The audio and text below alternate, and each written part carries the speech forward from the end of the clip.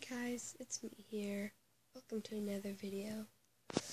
So, I was at the thrift shop and I thought, hey, I want to make a fursuit. Because they're cool and cuddly. So, I found all the stuff at thrift shops after multiple months of looking. So, you probably most of the time can't just find it right away at a thrift shop.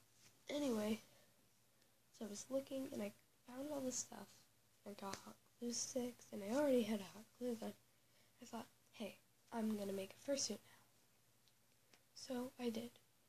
Her name is Sandra. She isn't finished, but I just want to show it to you. Um, she has a lot of black, but it's kind of hard to see because of the video quality. Here she is. She's my first ever fursuit. She's not done because you can see here insides of ears missing.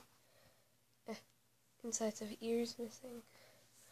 And if you turn around, whole bunch of area here that needs to be filled with this blue. I'm not doing it black because, yeah, where'd the tongue go? Oh, she also has this big patch of black, but kind of makes it hard for you guys to see her with that out. And the tongue just helps you understand where everything is. Oh, anyway, yeah, I'm gonna try to get me in the Tundra fursuit head. I haven't done the paws or the tail or yeah, well, I'm making, I'm pretty sure I'm making a partial. Don't think I'm gonna make a full suit.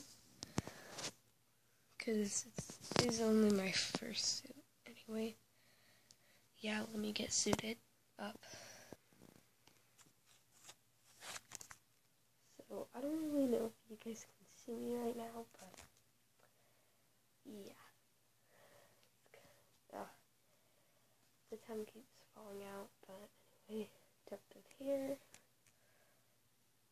Loppers. Oh my goodness. Tiny. Cheek cheese. Muzzle muzzle. Booper nose. All the good things are first. So yeah. Bye guys.